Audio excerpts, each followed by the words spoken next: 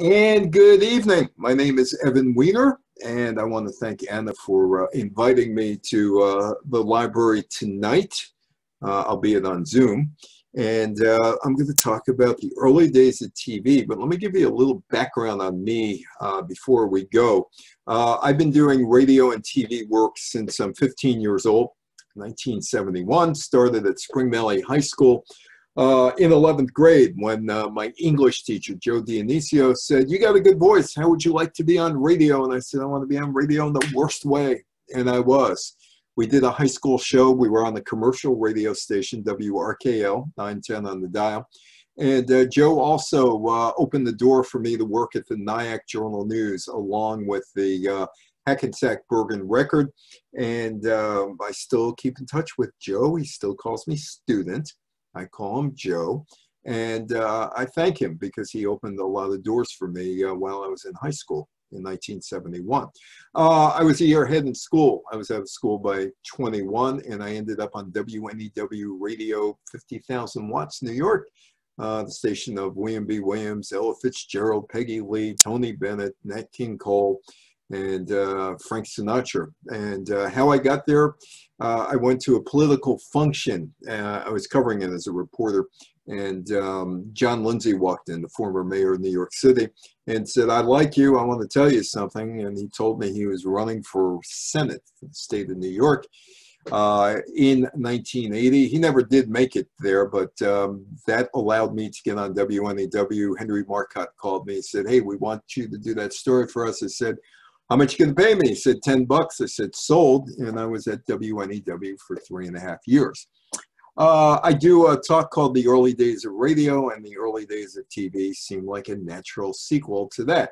Early Days of TV, my favorite television program was this, The Test Pattern. Most people today of certain under the age of 60 have no idea what the test pattern was. But when you uh, put on the TV back in the day, um, you would see a test pattern when it's the day started out, it would be snow, then the test pattern, and then the national anthem, and then there would be the programming. And it was reverse at night, the programming, national anthem, the test pattern faded into snow. I knew I had it made when I saw the test pattern late at night because I beat my parents to bed, even though I was four years old.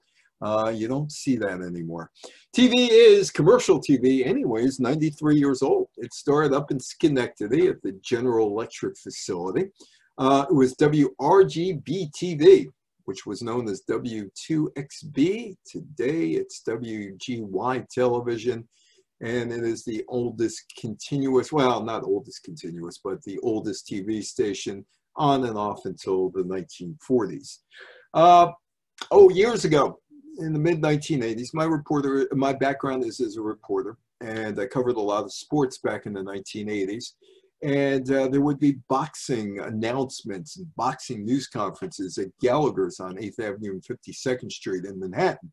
And Howard Cosell was part of that deal. I would see him a lot. I was acquaintances with Howard. I'm friendly with his three grand, three of his grandsons. Uh, Colin, who is the New York Mets public address announcer, uh, Colin Cosell, Justin Cosell, who is a uh, school principal, charter school principal in Connecticut, and Jared Kahana, who is an ESPN lawyer. And Cosell and I meet, um, not that we planned to meet, but we were together at um, Gallagher's. And um, Cosell and I are just talking. It's noon, and um, they're letting people in. And and you, to get before you got into Gallagher's, you were in this little waiting area and that's where Howard was. That's where I was while we're talking to each other. Well, he was talking to me, I should say. Uh, I didn't get a, too many words in edgewise. And he says, you know, when they write about the history of TV, they're going to write about the three C's, Cronkite, Cosell, and Carson, and not necessarily in that order. So the seeds of this talk may have been planted into me by Howard Cosell. And if you think about what he was saying, uh, he was talking about the period of the 1960s, 70s, and 80s, not quite early TV. He started in early TV in the 1950s. Cronkite was around early TV in the 1950s. Carson was around TV in the 1950s. But what Howard was attempting to say about the three C's, uh, Walter Cronkite, here you see him becoming the most trusted man in America. Uh, the Kennedy assassination, November 2nd, 1963.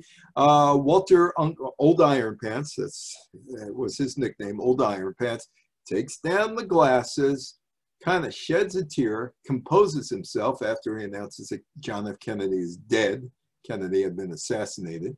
And uh, puts the glasses back on, and old Iron Pants is back in the saddle. With that, he becomes the most trusted man in America. That's Howard. Howard Cosell was both the most popular and least popular man on TV at the same time in 1974. Howard Cosell. And there's Johnny. Johnny lasted 30 years with The Tonight Show. Um, that's about 17, 18 different lifetimes. Um, he was uh, started in 1962, ended in 1992. Bette Midler was his last guest. And one of the things that Cosell probably was right about was these guys were originals on TV. Cronkite, the anchor man, Carson, the late night man, who a lot of people saw while they were in bed, and Cosell. And he was one of the reasons people tuned in to Monday Night Football in the 1970s.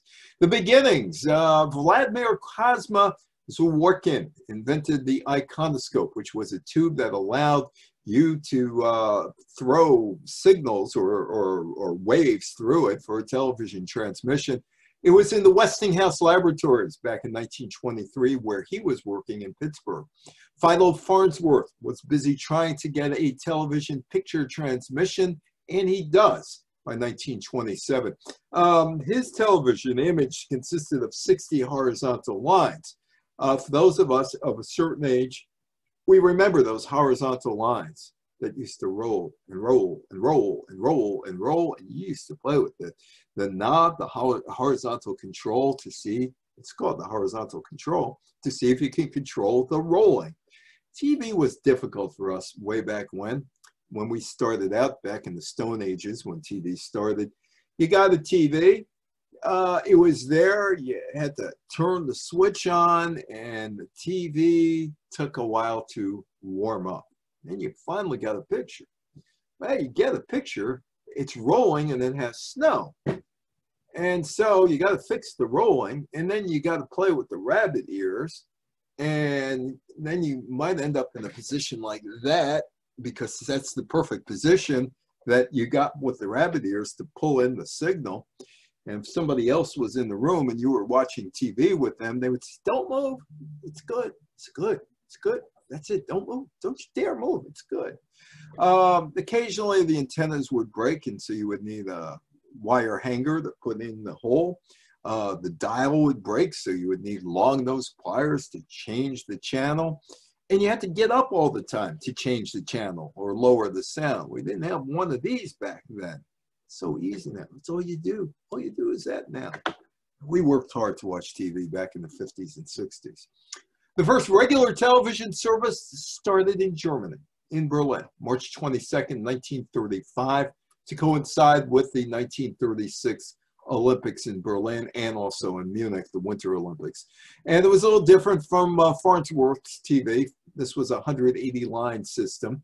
Uh, it was on the air for 90 minutes, three times a week, and it was supposed to be used for the Olympics and for propaganda purposes. Uh, that guy in the middle there, Jesse Owens, kind of ruined it for Adolf Hitler. Um, the what was supposed to happen, at least in Hitler's mind, was that the Aryan society was going to excel and win as many gold and silver and bronze medals as possible. And this guy, Jesse Owens, upended uh, Adolf Hitler. But if you happen to be in Germany uh, and you wanted to watch the Olympics, uh, you could. There were uh, broadcasts up to eight hours a day, uh, and you could see um, the television or the transmission in Berlin and Hamburg. Ultimately, it died simply because not very, very many people bought televisions and the Nazis decided it wasn't worth the effort and they concentrated on other areas that they felt they could count, conquer. The 1939 World Series, World Series, World's Fair. Uh, I was uh, in Long Island, uh, on Long Island, a couple of years ago, um, actually before the pandemic. And I was at a, senior residence, and there was this guy, and he was in his 90s. And uh, he sees this picture. He looks at the picture and says, hey, wait a minute. He said, I want to say something. He said, go ahead. He said, I was there. So wait a minute. Yeah, I was in that pavilion. That was where they had television. I was there with my parents. I was about 12, 13 years old at the time. And um, they said to me, and this guy was in his mid 90s, sharp as a tack, at least for that. And they said to me, um, Can we get you to go on TV? And he said, I didn't know what they were talking about. But um, his parents, they said to his parents, We want to put him on TV so you could see him right in the middle there on the screen. And they said yes, and they took him to a back room, and he was on TV. Delighted his parents. His parents were as happy as could be. Uh, he never saw himself on TV, but uh, he remembered that people walked in and saw that thing right in the middle there, and they were gawking at it and they were looking at it. It was like something out of this world, he said. Uh, what television will mean to you if you were in um, Flushing uh, in that pavilion in 1939 or 1940. RCA handed out this flyer saying what television will mean to you. I don't think television reached up uh, to where you are in Dutchess County. Uh, it went 50 miles north, 50 miles south, 50 miles west, 50 miles east. Uh, and uh, the signal came off the Empire State Building, and some of the things that you might have seen or could have seen, or what they were pitching you to see, was the Metropolitan Opera or boxing, an award show, a baseball game, uh, a, a politician giving a talk. And they thought, well, you know what? You're never ever going to have to leave your living room if you buy a TV. All the entertainment you want will be there. Uh, Franklin Roosevelt, you probably have are familiar with uh, that place up there, Hyde Park. Uh, about three and a half years ago, my wife and I went up to Hyde Park. Uh, Franklin and Eleanor were really nice hosts, really, really nice hosts. Gave us some books to read. They were a little stiff, so were the books, but they were still nice, nice hosts. And I went up there ostensibly to um, ask three questions. Uh, one, why did um, you, President Roosevelt allow uh, the American team to compete in the uh, 1936 Berlin Olympics, which uh, uh, legitima legitimized the Nazi regime of Adolf Hitler. Uh, two, you were the first one on TV. What was that like? And three, you allowed baseball to play after the, uh, Pearl Harbor Day in 1941. Why? You got answers to all three. But for this talk, it was, well, Roosevelt was experienced in dealing with the media. He had fireside chats. He knew how to speak. And he appeared at the opening ceremony of the 39 World's Fair and became the first president of the United States to give a speech that was broadcast on TV. By the way, if you wanted to buy a TV, there were only 400 uh, when Roosevelt was first on, it sold in the New York City area. Eventually, uh, 1940 or so, you could get an RCA or General Electric or Dumont. Um, they range from um, five inches, uh, which is approximately the size of this, uh, to 12 inches. Uh, Dumont had a 14 and 16 inch model. Prices started at 200 bucks as high as a thousand. Right now, that would be 1600 to $8,000. The first baseball game, that was uh, done in Upper Manhattan, Baker Bowl, Columbia and Princeton, May 17th, 1939. Walt Disney was in on the ground floor of TV, both in England and the United States. In England, uh, there was a uh, Mickey Mouse cartoon available, but no such luck here. If you were one of the kids that were sitting around and you were lucky enough to have TV, you heard, hey, Disney is going to have a cartoon on. We're going to be able to see a cartoon. So you probably said, oh, maybe it's Mickey, maybe it's Donald, maybe it's Donald and Daisy, or Mickey and Minnie, or Pluto, or Goofy. Maybe it's one of those, but you ended up with him. Gus Goose, my cousin Gus, Donald's cousin Gus, is a slob. He was not a likable cartoon character. In fact, uh, he hasn't really been seen very much except for Who Framed Roger Rabbit, which might be in the library. On May 19th, Donald's cousin Gus. Someone want to explain to me how a duck and a goose could be cousins because I can't figure out how that happened, but that happened. Anyway, Donald's cousin Gus airs on the NBC experimental station 2X, W2XBS, later WNBC TV Channel 4 in New York. It was Channel 1. Uh, and it was the first time a movie cartoon was ever televised in the United States. First baseball game was between the Brooklyn Dodgers, Cincinnati Reds, Major League Baseball game, August 26, 1939. Still about 400 TVs in the New York City area could watch that game. Uh, that's the cover of my ebook, America's Passion, How a Coal Miner's Game Became the NFL in the 20th Century. And the only reason I have it up there is that that's Benny Feathers, who looks like there's some unnecessary roughness in dragging him down. Look where the fist is. That might have hurt. Uh, but he was a member of the Brooklyn Dodgers, and the Brooklyn Dodgers National Football League team was uh, the first. Uh, was, they were part of the first game, first two teams ever uh, on uh, TV, NFL with the uh, Dodgers taking on the Philadelphia Eagles, and there were about a thousand television sets by then. Uh, both CBS and NBC started before World War II. The war would delay TV's progress. It was a temporary delay. When the GIs returned home, television would grow quickly. In 1940, the Metropolitan Opera broadcast. Uh, that was the first time it was on NBC 81 years later. It's still on TV, but not on NBC, on PBS. And uh, Color TV, the anniversary of Color TV is August 29, 1940. Uh, Peter Carl Goldmark of CBS announced his invention of the color television system. The odd thing is about CBS, they invented it, but it was NBC that introduced it in 1955. If you like commercials, this is for you. The first ever TV commercial was before a Brooklyn Dodgers Philadelphia Phillies game, July 1st, 1940. And how was that commercial shot? Well, simple. Uh, they took uh, the Indian head uh, test pattern, they knocked out the Indian head, and instead put NBC RCA in there, and then Bulova, Bulova watches. Bulova was a sponsor for 14 bucks. So you have a clock from 12 to 11, and you got three hands. You got the minute hand, uh, the hour hand, and the sweeping seconds uh, hand, and you shot that. You put a camera to it, and voila, you had your first commercial. Channel 1, July 1st, 1940 at 2.29 in the afternoon, and the Bulova logo is, is prominently displayed. Uh, this is the animation that happened about 10, 12 years later. Bulova, watch time. Uh, on November 7th, 19, rather December 7th, 1941, Pearl Harbor Day, Ray Forrest of WNBT broadcast a news report concerning the Pearl Harbor attack uh, that ended the programming that they were showing, which was between, uh, which was the New York Rangers hockey game.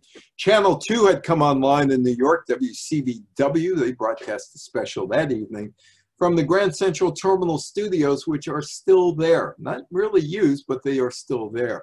Uh, the U.S. War Production Board halted the manufacture of television and radio equipment for consumer use on April 1st, 1942. That ban is lifted in 19. 45. Um, Jackie Gleason. Now we talk about the shows, the Jackie Gleason show. Some of you might remember Jackie Gleason from CBS, but he was not originally a CBS um, program producer. He started on the Dumont Network, and the Dumont Network is long forgotten. However, uh, in the 66 years that it is gone, uh, it should be remembered for being cutting edge TV because it really was. It was the world's pioneer commercial television network. They beat out David Sarnoff's NBC and Bill Paley's CBS for the distinction of being number one. They started operation in operations in 1946 uh, on September 15th, and by October 2nd, the first program uh, that they have on is a television soap opera, first television soap opera, something called Faraway Hill on Dumont. Uh, some of the shows that were on the early days of TV that originated on Dumont included Ted Mack's original Amateur Hour, which began on radio in the 1930s, Major Bowes. The Morey Amsterdam Show, Captain Video and his Video Rangers. I've done this talk at uh, senior homes, uh, both in Connecticut and New Jersey obviously two people who wouldn't know each other, and they both had similar stories. There was a woman in Stamford who said that uh, her father bought her the Captain Video space helmet, and she sat and watched Captain Video with the space helmet on. And uh, this guy in New Jersey told me, he said, I don't know who bought me the helmet, but I had the helmet, and they were both kids at the time because you're talking nearly 70 years ago. Um, and um, had, I had the helmet on, and I watched the show as well. And also the Arthur Murray Dance Party. Uh, there's an Arthur Murray that uh, is opening up about three miles north of me on Route 22 over uh, in Tuckahoe, supposedly opening up. Um, but COVID's been in the way. You can always tell Arthur Murray uh, dance students when I speak a lot on cruise ships. And uh, they always come out and they always introduce themselves and they always have all the moves and everything else. And they look, uh, they, you know who they are. You know who they are just looking at them. This is Ernie Kovacs. Ernie Kovacs was a comedy innovator in the early days of TV. In fact, uh, some of what you still see today in comedy skits, though there aren't very many comedy skits except for Saturday Night Live now, um, originated back in 1949 with Kovacs, who was on a local station in Philadelphia, and he was picked up by the Dumont Network. Uh, uh, he there was a lot of quick in and outs. He used a lot of uh, editing, and uh, some of the uh, shows survived only because his wife Edie Adams um, purchased the videotapes that ABC, uh, excuse me, and ABC was about ready to destroy um, uh, because networks didn't keep tapes. They just over and over and over and over again, they just recorded on it, but she rescued them. And if you're a Kovacs fan, and I am a Kovacs fan, uh, occasionally you'll see it on PBS, and there's a lot of stuff up on YouTube as well. And she saved it. Um, a lot of shows disappeared unless they were filmed. In the early days of TV, uh, there weren't network affiliates per se uh, local TV stations that were lined up with uh, networks. Um, so if you uh, were looking and you could cherry pick outside of New York or, or, Washington, Chicago, Philadelphia, Los Angeles, you could pretty much cherry pick what you want because they were uh, owned and operated stations by the networks in those cities. Um, so if you look and CBS is offering you the Lucy Show or Jack Benny or Ed Sullivan, um, and you look and NBC is offering Milton Berle and Sid Caesar, chances are, chances are great that you're going to go with the established names and not unknowns like Jackie Gleason or Ernie Kovacs. Uh, and Dumont could offer you a Jackie Gleason or a Bishop Fulton J. Sheen, but um, you might want to go with a known commodity like Bob Hope. Dumont was the first TV network to do a nightly news program from Washington, D.C., the nation's window on the world. Uh, they were also the first television network that scheduled a children's show regularly, The Small Fry, with Big Brother, excuse me, Big Brother Bob Emery. And that was introduced into the daytime schedule back in 1946, long before uh, Buffalo Bob Smith and Howdy Doody. And Ralph Kramden, Jackie Gleason. Uh, the first time he threatened to send his wife, Alice Kramden, to the moon was on the Cavalcade of Stars. One of these days, Alice, one of these days, Alice, bang, zoom to the moon. Um, that was on the Dumont network. Of course, you couldn't do a skit like that today because it would be alleged, you know, verbal assault. But uh, take a look at her. It's like, no, no, no, no, no, no, no, no, no. You're not going to do that. You're not going to do that at all. By the way, the original uh, uh, Alice was a woman by the name of Pearl Kelton, who was uh, blacklisted because it was thought that she was a communist. And um, the way Jackie Gleason got around saying that she was no longer on the show, she was hospitalized she would come back in the 1960s and be part of the uh, Gleason ensemble in Miami Beach. He didn't want to get rid of her. Uh, I'll talk more about uh, blacklisting in a few minutes. So it was on the uh, Cavalcade of Stars that Ralph Kramden first threatened to send Alice to the moon. Dumont was the home to the first network soap opera, the first network newscast originating in Washington. But, well, let me get Howard Cosell to do this. Hey, Roone, get over here. They want you to talk to them. Roone Arledge, who put together Monday Night Football. Roone was part of the primetime telecast on Dumont of the National Football League, Saturday Night Football back in the early 1950s. That's where Roone Arledge cut his teeth.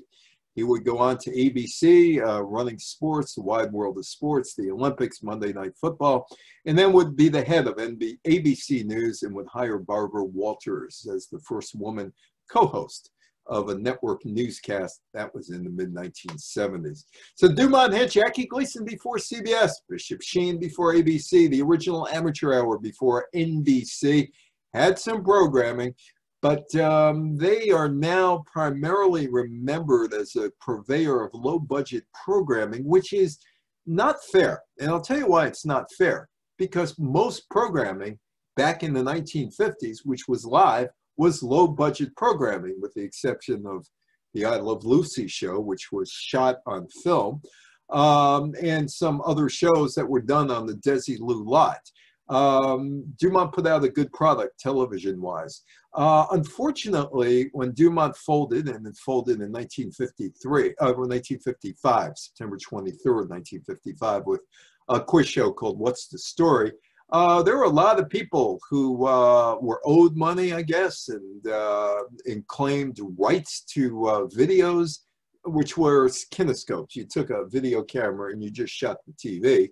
And that's how those programs were preserved uh, in the 1950s. Uh, and anyway, um, there were fights over who owned the kinescope, who owned this, who owned that. Then a lawyer one day decided he had enough of the fights and and this is a real crime what he did and the lawyer was never charged with anything he rented a, a truck and they went up to the bronx where all the kinescopes were stored and he loaded up the truck with all the kinescopes which were all the old dumont shows threw them in the truck drove to the east river dumped it into the east river there are some dumont shows that have survived not very many of them but there are some that you can go up on youtube shows aren't very good uh, that survived. Um, there were probably better shows. I've watched some of those shows, but it was in keeping with what was going on in those days. Most television shows weren't very good back in the 1950s.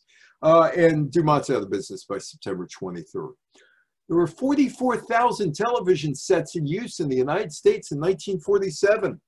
I have a friend by the name of Bob Block. Bob Block is the uh, father of pay TV in the United States with the Mo, uh, Wometco Home Theater that uh, was introduced in 1972 in the New York area on uh, Channel 68 in Newark, New Jersey, and Channel 67 out in Smithtown, Long Island. Uh, the Wometco Home Theater was what it was. You could watch movies on that. Uh, but anyway, Bob uh, in the 1950s uh, was both an advertising executive and also owned a comedy club. Two of his uh, clients back in the 1950s, uh, an obscure little grocery store in Milwaukee by the name of Kohl's, K-O-H-L-S, Kohl's. You probably know them better as a clothing slash department store now. And the other was uh, Selig, Selig Ford.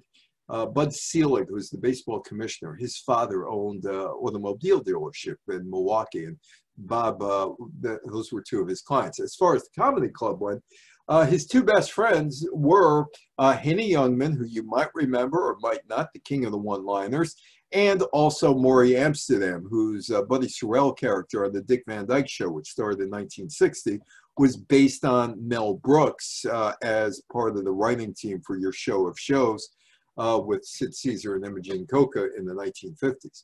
Uh, anyway, Henny Youngman uh, is faced with a dilemma here.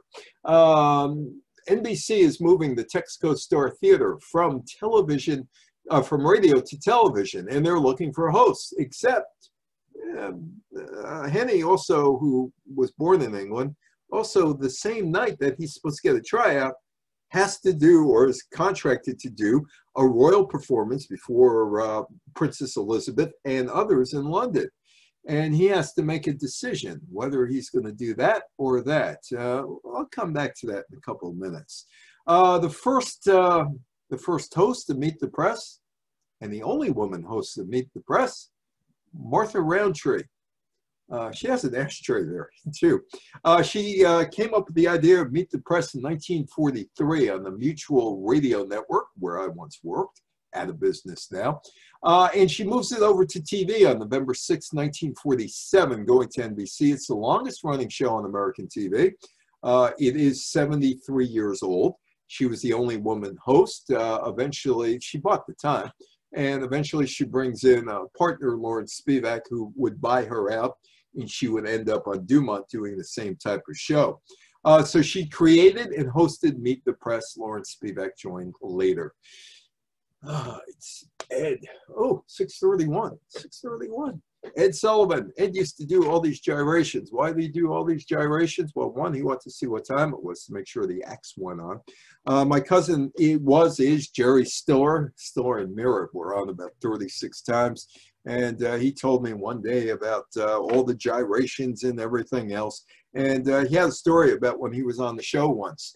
Uh, and Ed had something for everybody, for kids, Topo Gigio, for teenagers, the Beatles, for young adults, you know, Steve Lawrence and uh, Eydie Gormé, for a little older adults, uh, Frank Sinatra and Tony Bennett, those people, and then Jimmy Durante for the seniors.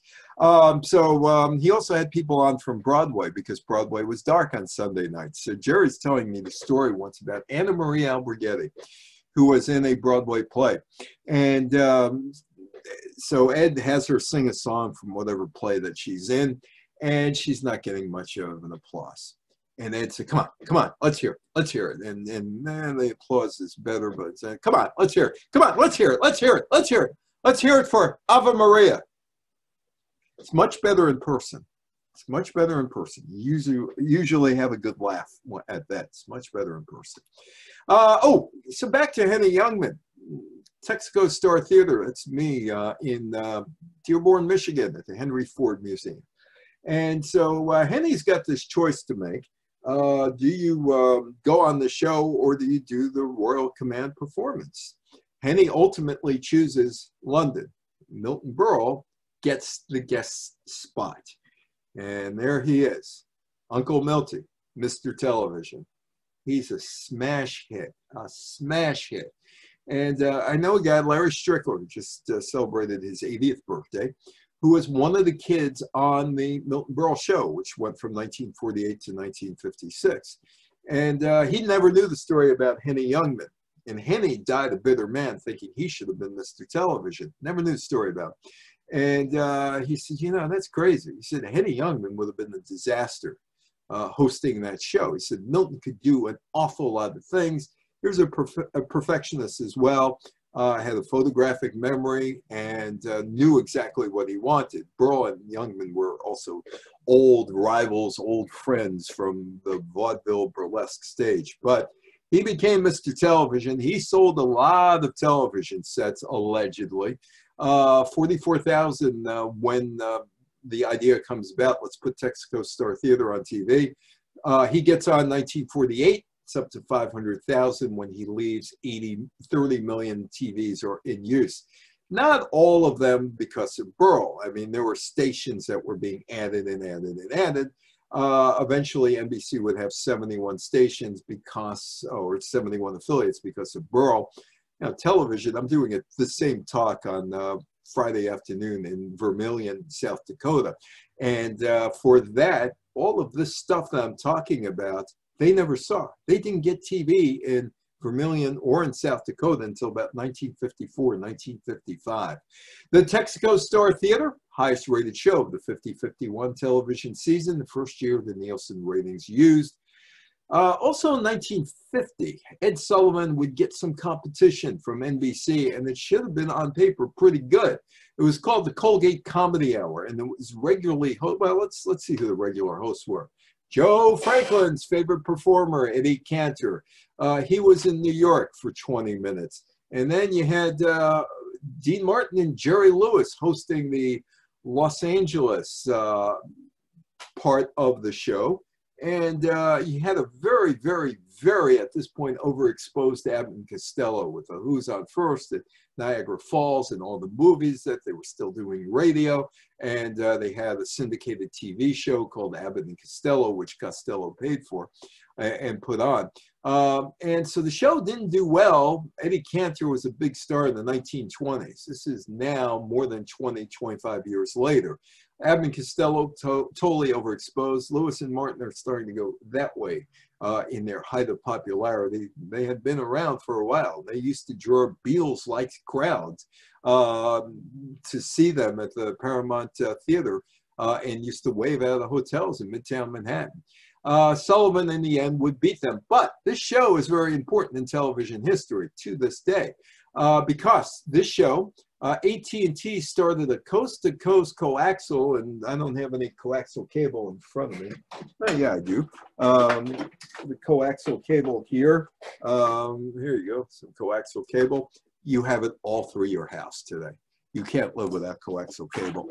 Uh, coaxial cable, microwave interconnection, which allowed uh, the telecast from the three areas uh, across the country. About three years ago, I was in uh, Teaneck, New Jersey, doing this talk at a senior home. And there was this guy who was a retired engineer who tried to explain to me how this all worked. And I said, hey, I'm talent. I'm talent. I'm the last to know and the first to go. And he laughed. He said, You got that right. The show did have talent, but in the end, Ed Sullivan did beat them out. Howdy Doody Howdy Doody was the first color television show aimed at kids. Color TV really starts in earnest on WMAQ, actually known as WNBQ in Chicago uh, in the mid 1950s. Channel 5 there when the switches flipped and a lot of NBC programming went into color.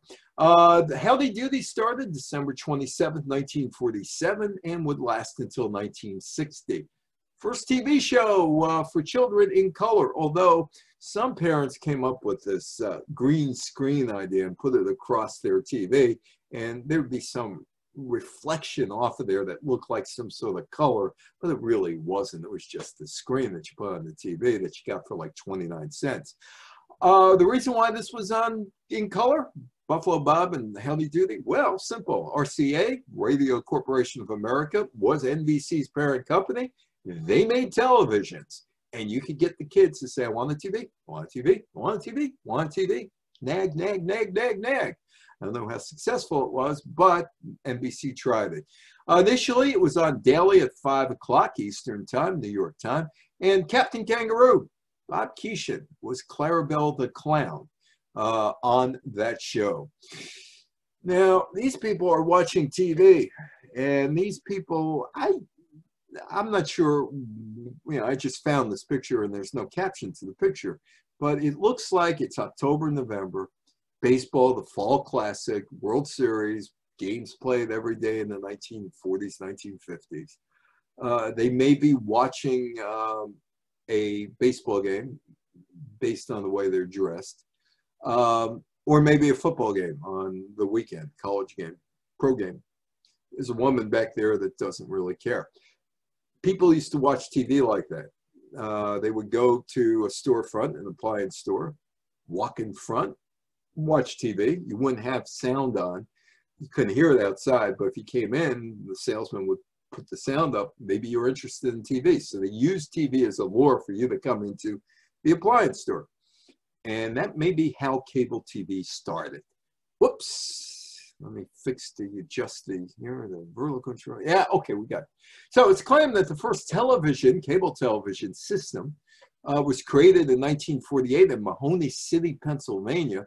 Um, there was a Stone Mountain, and Mahanoy City was north of Philadelphia, and there was Channel 3, Channel 6, and Channel 10, and the signal was blocked by Stone Mountain. So Mahoney, rather uh, Walson owns a appliance store and he's trying to sell TVs and he's trying to sell TVs and you can't see, you know, the reception is poor. You can't sell something that you can't see well. So he decides, well, you know what? Let me do something here. There is John Walson. I'm to do something here. I'm going to erect an antenna tower on top of Stone Mountain and I'm going to take my customers up there. I'm going to get, you know, whatever electricity or whatever they have up there. They take my customers to that location. And I'm going to find electricity and plug in my receivers. This was 1947. So he goes uh, to the Army Navy store uh, or the Army surplus store. He buys some heavy duty twin lead Army surplus wire He runs the wire from trees from the mountain down the trees to his appliance store. And voila, he's got a picture. He has a picture. And uh, he convinces some people to buy televisions and he runs the wires into the house. And uh, this thing is called Community Antenna System.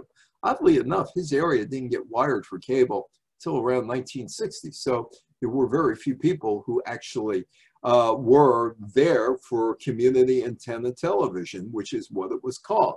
Now, the other story is also 1948. And that's me. That's Astoria, Oregon, in July of uh, 19, uh, rather 2018. Um, I was um, there. Um, Astoria is at the end of the Columbia River and the Pacific Ocean, and I was there because my daughter decided she lives in Seattle we had never really got through Oregon. She says, let's go through Oregon. I said, okay. So we get to Astoria, and I had no idea about. But there's a little train that goes one and three quarter miles along the Columbia River waterfront. And I thought, yeah, it's free, it's cool, let's do this. You know, it's a cool little thing. And uh, the guy who's conducting on the train, it's only two cars, uh, and they were yeah, they were rescued cars, so to speak, and uh, local volunteers uh, restored them. And uh, anyway, he says, well, now we're passing the place where cable TV started in the United States. And I say, hey, wait a minute. My friend Frank Carney, who's now in North Carolina, used to work for John Walson in the 1980s. He said it started in the Poconos. And he tells the story. And the story is the other story about the start of cable TV. Uh, there was a guy by the name of Ed Parsons and that's his office where the woman or the man in red, I guess it's uh, the uh, somebody in red, and uh, the other one in that khaki type um, uh, coat. And by the way, this is the middle of July in the story. It never gets above 62 degrees. It is a marine climate, so you only see the sun about two hours a day. So that's why I am dressed like that in the middle of uh, July. Anyway, so uh, Ed Parsons has his radio station in that building, and his tower is behind him at the highest place in in uh, the area, the hotel behind the hotel in that office building. And so he knows a little bit about how radio signals work. Um, well, let's back up a little bit to find out why Ed Parsons is in this predicament. Uh, he goes to Chicago in 1946 at a radio uh, convention. And it's in Chicago, and he brings his wife Grace with him. And there's a demonstration of WBKB TV, Channel 2, uh, at, at the radio um, convention. And Ed's got his wife Grace there. And she looks at it and says, I want TV, I want TV, I want TV, I want TV. Well, there are no TVs. There are no TVs, no TV stations uh, in the Pacific Northwest. But finally, uh, there is a station that comes out in Seattle in 1948, KRSC TV. And uh, Ed gets a television, hauls it down to his office, and decides he's going to make Grace happy. And he's going to play around. He gets some coaxial cable and he hooks it into the back of the TV to his antenna. And they're moving the antenna around and all that. And he gets a signal. He gets a signal calls up Grace. Grace says, great, great, great. I can watch TV. Great, I can watch TV. Well, Grace happens to tell, the TV goes to the house. Grace happens to tell everybody in the neighborhood, we got a TV. And Ed has a problem. Loses his kitchen, loses his dining room, loses his living room, loses his bathroom. And he's got to figure out how to get all these people out of his house because Grace has told everybody, let's watch TV. Okay, how do we get out of the house? Well, he does. He uh, decides to get a second TV. He runs a cable down to the second TV. He splits the TV signal. Cool, I could do it too. And then he goes, tells everybody, go buy a TV. And I guarantee you, you'll get TV. And he does. Charges $3 a month. And everybody has TV. But he owns a radio station, and if he tells this to the Federal Communications Commission, his radio license may be yanked. So he tells everybody, keep it quiet, because really what he's doing is stealing a TV signal from Seattle. Keep it quiet, keep it quiet. Well, they do keep it quiet. And he's um, got like 14, 18 customers uh, initially, $3 a month, $72 in his pocket. Nobody knows about it. and everybody's got TV from Seattle in Astoria. 1948, CBS television news debuts with Douglas Edwards. It's the second longest TV show in American history that's still going. Uh, political uh, convention from Philadelphia. The networks uh, NBC and CBS cover that, and Dumont. Uh, July 29th, the BBC starts service of the 1948 uh, Summer Olympics, broadcasting the opening ceremony. I am going to be doing a talk that uh, has been assigned to me mainly because of this picture about uh, I Love Lucy and how Lucille Ball went from a cigarette model to being rejected by talent agents into a Three Stooges short where she learned how to take seltzer up her nose and uh, a pie in the face to the Marx Brothers to B movies to marrying Desi uh, to almost divorcing Desi, to having her movie career end at the age of 34 and going on radio and having a hit radio show that they want transferred to TV, and how Lucy and Desi became the first interracial couple on television, to Lucy being outed as a communist, to the divorce, to her becoming the most powerful woman TV executive in Hollywood, studio executive. Uh, I'm going to spare you that talk. I haven't even written it yet. Those are the, the mileposts that I'm going to use. But anyway, Desilu Productions starts in 1950. Uh, Lucy and Desi barnstorm the country, do a cornball act with a uh, Cuban uh, comedian uh, to show CBS, hey, we could do this. And the show starts in 1951. CBS wanted a proper man as Lucy's husband. Uh, Jack Benny goes to TV in 1950. I loved him on radio. TV, he's 56 years old. And all of that illusion that he built up, the blue eyes, green with envy, all that other stuff goes out the window because you could see him, whereas radio's a theater of the imagination. Some of the Benny stuff is funny, but most of it is looking at a guy 56 and older who doesn't quite have the energy that uh, you could fake on radio, but he made the transition to TV. He was on for about 14 years, uh, on and off, and he said he'd rather do TV than radio. TV is where it's at, but he really was good on radio. He was okay on TV. He was great on radio. Hey, there's Groucho, the one, the only Groucho Marx with Fenneman, George Fenneman as his announcer. You Bet Your Life started on radio, ended up on TV. This is a story that floats around that may have happened, may not have happened, may have been on television. No, it wasn't on TV. Was probably on the radio. It was might have been on the radio show at KGO in San Francisco, the You Bet Your Life uh, show. Anyway, uh, is the announcer, and he introduces Marion and Charlotte Story. And he says, Groucho Marx, meet Marion and Charlotte Story. They have 20 children. And when Groucho uh, says to the couple, well, uh, particularly Marion, well, why have you chosen to raise such a large family? Mrs. Story allegedly says, I love my husband, to which the allegation is out there that Groucho responded, I love my cigar, but take it out of my mouth every once in a while. It's in Tarrytown giving a talk, and there's a married couple sitting there listening to me doing this. And I see the woman going like that to her husband. What's he mean by that? What's he mean by that? What's he mean by that? And the husband said, after all these years, I still have to tell you these things. But anyway, this may or may not happen. Groucho said it happened, then he said it didn't, then he said he did. Uh, there's no uh, evidence that it happened other than hearsay and Groucho saying, yeah, it may have happened. Uh, I Love Lucy was uh, one of the top shows of the era. Uh, also, there was uh, The Tonight Show Sigourney Weaver's father, Pat Weaver, Sylvester Weaver, Sylvester Pat Weaver, advertising guy, came up with the idea of a late night show. And the late night show uh, would be the template for what you see today, whether it's Fallon, whether it's Kimmel, whether it's Colbert or Conan O'Brien, or before that, Letterman and Johnny, of course, uh, and before him is Jack Paar and Steve Allen.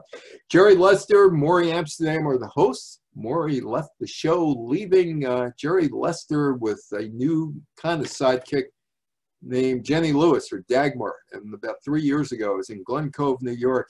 There's a guy in his 90s, senior home, and I hear him pant all of a sudden. I said, What's wrong? What's wrong? Should I get to it? No, no, no. So, what's the matter? And he says, Dagmar, she was the best breather on TV. And I looked at him. I said, man, you should be ashamed of yourself, shouldn't you? Uh, there was another guy too who did the same thing uh, on Long Island. He went like that. And I said, how old are you? He said, 93. I said, does your mother know you're still doing that? And he laughed. Um, hey, 90 year old guy still having in him for them. That is Dagmar.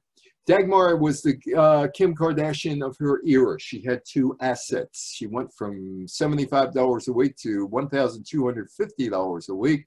And all she had to do was show up with her two assets and kind of sing a song, but that was basically it. Uh, the show lasted about two years, but Dagmar's uh, endurance continued in the 1950s. There's a Coupe de Ville. Um, Chevrolet, Cadillac, General Motors uh, cars had, uh, take a look at the bumper there. Take a look at that bumper. Uh, in that bumper. Um, they were called the Dagmar bumpers after Dagmar because some engineer thought, hey, let's stick the Dagmar bumpers there. it's there. Car, you know, car fanatics know about the Dagmar bumpers. So uh, that was her lasting impression on some engineer at General Motors to stick the Dagmar bumpers on Coupe de Ville and other Chevy and GM cars. Bum, bum, bum, bum, bum, bum, bum, bum, bum. The story about sea is true. The names have been changed to protect the innocent. Dragnet was a popular show from radio to TV in the 1950s. It lasted eight years. It was enduring. Version 2 returned in 1967, this time in color. There was supposed to be a third version in the 1980s, but Jack Webb died from a heart attack, so it was never done. It had high ratings, a recognizable theme song, Stoller and Leiber uh, had uh, Joe Friday, Sergeant Joe Friday, in the song Searching with Charlie Chan and the Royal Canadian Mounted Police. Um, so uh, it was a big deal.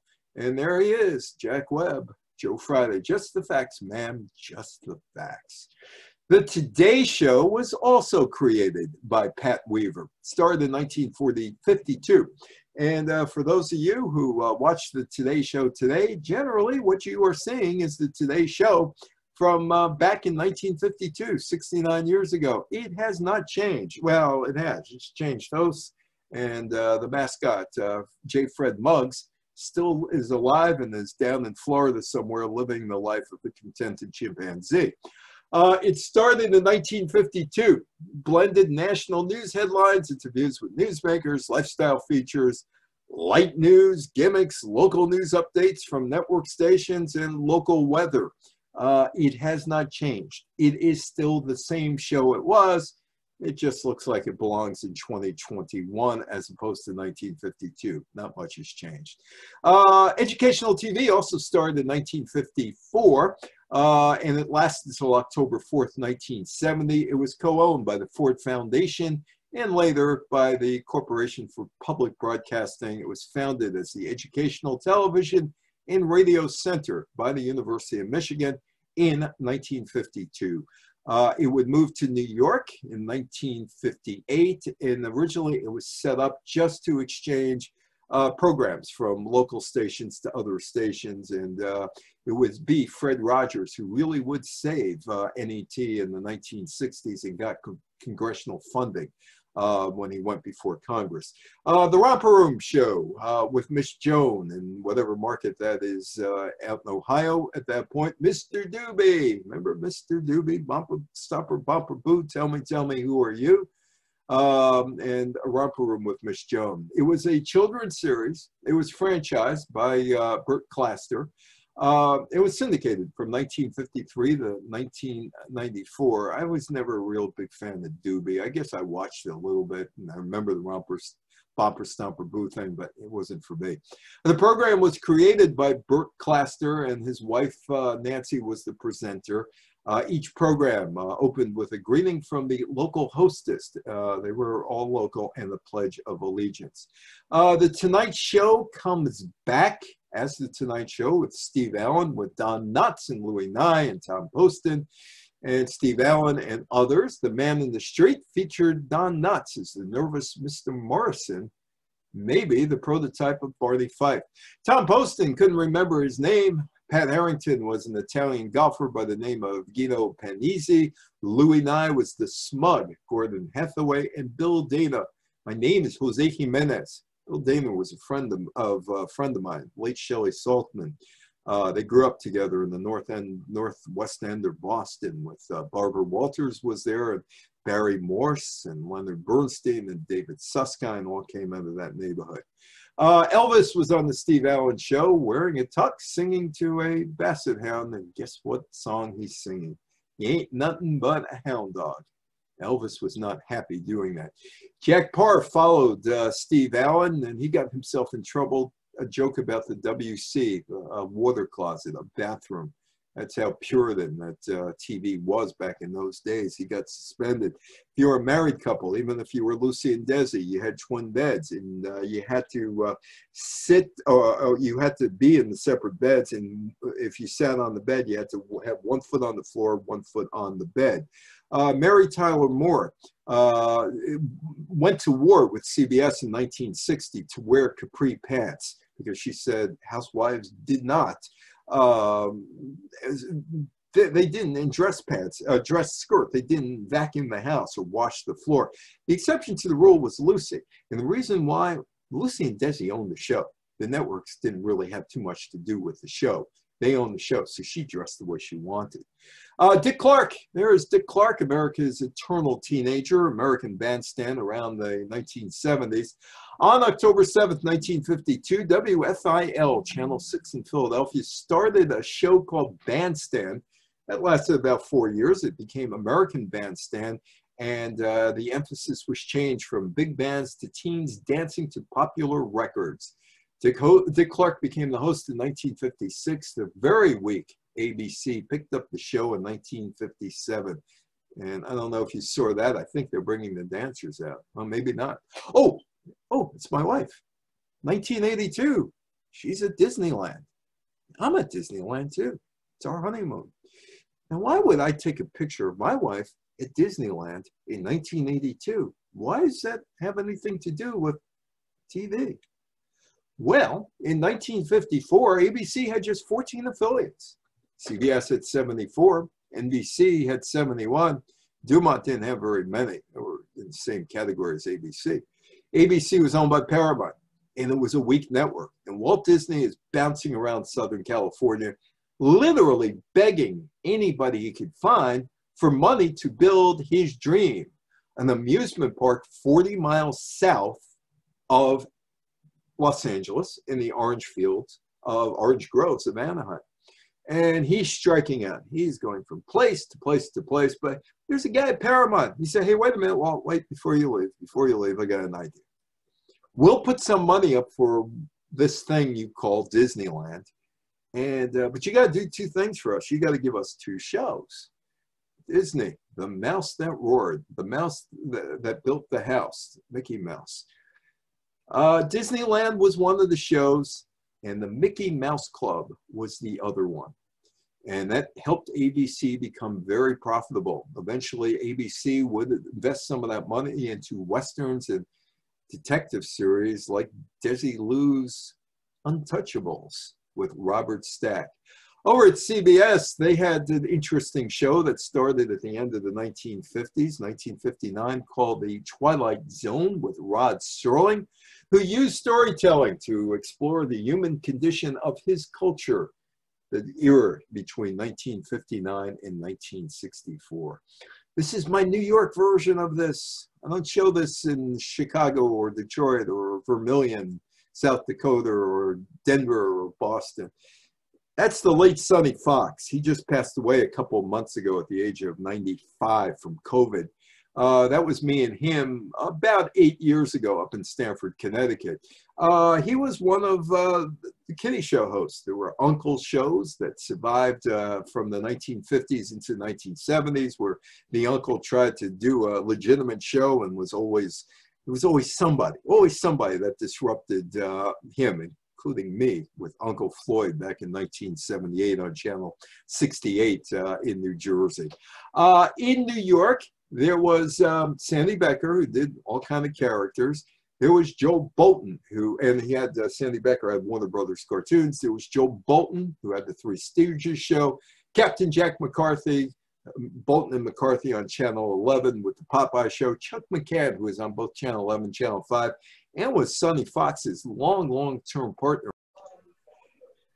Back. Thank you, Windows, for crashing. Uh, anyway, uh, Sid Caesar and Imogene Coca there. They uh, were a the show of shows, and you couldn't put together the show of shows anymore because uh, you couldn't get people like Mel Brooks, Neil Simon, Danny Simon, Mel Tolkin, Lucille Kallen, uh, Selma Diamond, Joseph Stein, Michael Stewart, Tony Webster, Carl Reiner, Larry Gelbart, and Woody Allen all on the same writing staff. Uh, it was just too much. Nat King Cole, uh, first is not the first African American to host a show.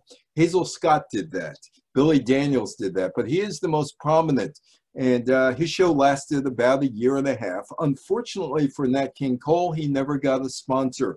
Uh, he was a frequent guest on your show of shows. NBC wanted to save the show and move it from Tuesday night at 8 o'clock, uh, but the Singer Sewing Machine Company wanted that time and they wanted to move it to Saturday night over uh, at 7 o'clock. And Nat said no, the last show, which is up on uh, YouTube uh, December 17th, 1957, and it's a montage of photographs uh, with Nat King Cole featuring some of his guests, and he sings The Party Is Over.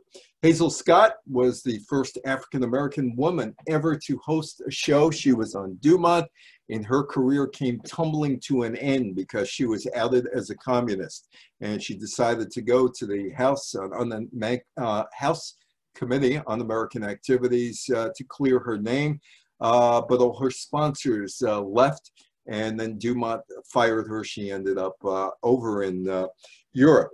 Um, there was some ethnicity in terms of uh, the early days of television. Uh, uh, my mama, I remember Mama was about a Norwegian family. There was a show about an Italian family. Uh, Beulah, Queen of the Kitchen, played by both Ethel Waters and Hattie McDaniel. Uh, it moved over from radio to TV. Unfortunately, it was on ABC and never got any uh, viewers, and that was the end of that show. But there was one show that featured African American actors as uh, the leads. It was the Amos and Andy show, which came over from uh, radio. And uh, Amos and Andy on radio were white actors, on television, African American actors, and that was a problem.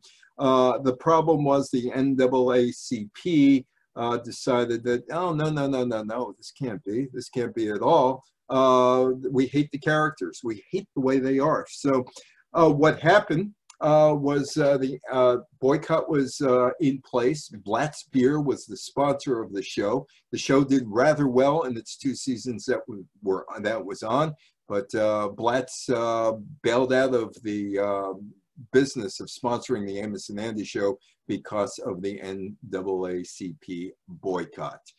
Uh, some of the women on TV in the 1950s, Dinah Shore, See the USA and your Chevrolet. Betty White on KNBH in Los Angeles.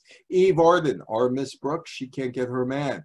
Uh, My Little Margie with Gale Storm. Uh, and also you had Ann Sothern and Sothern here uh, with uh, Executive Secretary. And the Donna Reed Show. Donna Reed, the first woman who is the central family character uh, in a sitcom or on TV for that matter. And uh, Spring Byington, December Bride.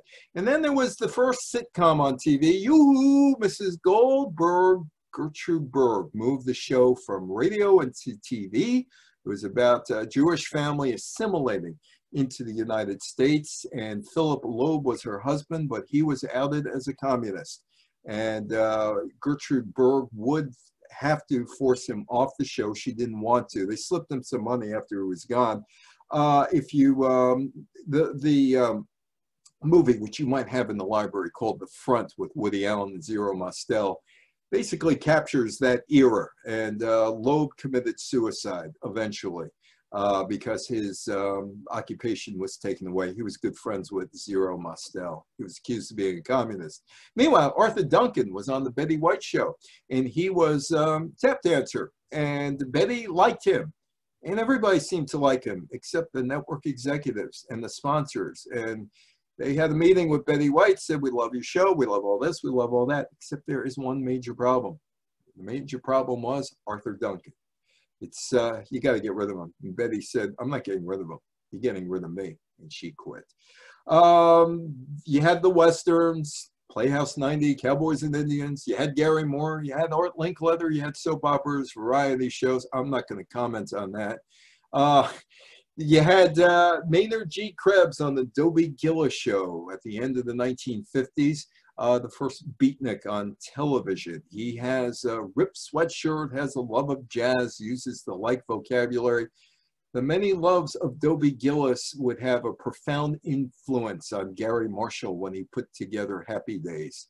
Four teenagers were the leads of Dobie Gillis. Four teenagers would be the lead of Happy Days. Quiz show scandals, well, some of the games were cooked and um, it would never have been known except Herbert Stempel went to Jack O'Brien of the New York Journal American and said he took a dive uh, some of the shows were cut. And uh, Congress got involved, signed new laws that prohibited the fixing of quiz shows. Bob Barker was on TV with Truth or Consequences back then, but that wasn't a quiz show. Game shows have more regulatory rules than news shows to assure their legitimacy, which brings us up to this. This is Jeopardy! Well, Merv Griffin had hosted the show. Uh, the show was uh, on uh, CBS called, or NBC rather, called uh, Play Your Hunch. It was a Goodson Todman show. He learned all about how to put together game shows, and he decided around 1962-63 that uh, he too wanted to be a game show producer and a quiz show, but he was worried about the quiz show scandal. So he's driving around with his wife, Julann, at the time, and he's telling her, I want to put the show on. I want to put the show on. I don't know if I can. I don't know. And she says, Merv, what's the problem? He said, well, you know, you got to ask questions. It's where they got in, in trouble. And Julann says, well, give them the answers. Um, and you, you know, they supply the questions. So like uh, 5,280 feet. How much is a mile? light bulb went on. This is Jeopardy. And that's how that show started. John Cameron Swayze was the first uh, newscaster, network news, really, uh, and invented what you see now. And uh, it was the makers of Camel cigarettes that brought you the latest news events right into your own living room. Sit back, light up a Camel, and be an eyewitness to the happenings that made history in the last 24 hours. It started February 16, 1949, but there was some censorship. RJ, RJ Reynolds was the uh, uh, Camel Cigarettes, RJ Reynolds, the parent company, was putting up the money, so they said no smoking signs. Uh, cigars, no smoking of cigars except for Winston Churchill, and do not report on the Korean War. Edward R. Murrow would take down Joe McCarthy uh, on March 9th, 1954. A report on Senator Joe McCarthy on See It Now, where Murrow uh, put up his case as to why Joe McCarthy was a bad, bad guy. McCarthy wanted equal time, and he got it in April. And that was a mistake because Murrow eviscerated him and uh, McCarthy just uh, ran out of prominence after that, uh, although they were still, the House on Un-American Activities would continue. Uh, good Night and Good Luck, which was put together by Mark Cuban and uh, George Clooney is probably in the library, and I know Mark, and he owes me a copy of that. We get to the 1960s, and Richard Nixon and John Kennedy changed how presidential races are won with TV becoming very prominent. If you look at John Kennedy, he's got a dark suit. It matches the backdrop. Most people have black and white TVs of the uh, studio, WBM, BBM in Chicago Channel 2. You look at Richard Nixon, he looks like a train wreck. He's got a bad knee, he's sweating, he's got a five o'clock shadow. He looked like he walked off the IRT subway back uh, on July 23rd, 1960, 95 degree day, 100% humidity. He looks terrible. It's the first debate where people start saying, does he look presidential or not? Uh, the first Nixon Kennedy debate would change politics. Television would become the force because of visuals. This guy, Newton Minow, 1961, The Vast Wasteland, talking about TV. And there's the skipper of the Minnow. Hmm, interesting. Same names. He spells his name M-I-N-O-W, and the Minnow is M-I-N-N-O-W. Well, uh, Gilligan's Island's boat uh, was named after Newton Minow because the executive director, Sherwood Schwartz, said that uh, Minow was ruining TV. He gives a speech, talks about it was a vast wasteland. And we wrap up where no man has ever gone before. Star Trek. And who was the biggest Trekkie of them all? Lucille Ball. She was the most powerful executive, woman executive in Hollywood. She ran the Desilu Studios and she was making decisions on television shows. Now, she didn't particularly like it, but she takes over the studio in 1962, and her new husband, Gary Morton's in charge of the studio is, real, is hemorrhaging money. And Lucy decides to take over on a day to day basis and starts to say yes and no to shows. She says yes to Mission Impossible. Uh, and then there's Gene Roddenberry's Star Trek and uh, he comes in and she thinks it's about USO uh, tours and performers performing for the armed forces. And he said, no, no, no, no. It's Wagon Train, which was a popular show at that time, uh, in space. And Lucy is kind of interested in it, but uh, the, the, pilot's going to cost a lot of money uh, uh, to to shoot. You know, the pilot is a show that it's a practice show, but basically shows what the show is about. And the network executives look at it. And uh, the network executives did look at it at NBC and said, no, no, no, no, we do not like it, except, except, see that guy? See that guy with the pointed ears? Why don't you build a show around him? Now, initially, the Paramount people said, we don't, uh, not the Paramount people, she'd sell the Paramount. Initially, the Desilu people told Lucy, uh-uh-uh, no, don't put up Mission Impossible clear winner. This one, clear loser. It would just kill us financially.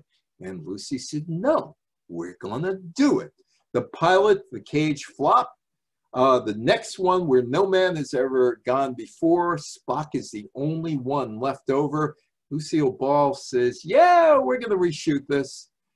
Before the director said, no, no, no, no. And Lucy says, yes. At the end of the day, who was correct? What is Star Trek and that franchise worth? Billions of dollars. She knew talent. She was the most powerful woman in Hollywood. She just wasn't that uh, actress who played Lucy McGillicuddy. I want to thank Anna for inviting me. I am so sorry that my computer crashed. Uh, hopefully that will never happen again. Uh, and uh, thank you, Anna, for inviting me. And uh, I will splice this thing up and uh, we will have a recording. Sounds great. Thank you for coming. And we'll see you in a couple of weeks. We got the Super Bowl talk. Exactly. Have okay. a great night. Have a good night. Uh, be safe and um, be careful out there. Yep, Take care. You too. Bye bye.